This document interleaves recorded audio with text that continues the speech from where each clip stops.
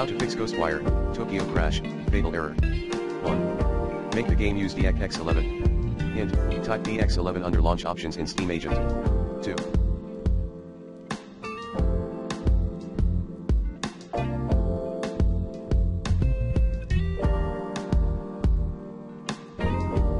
Update your Windows operating system. 3. Reuse the default GPU clock, if you did change it. 4.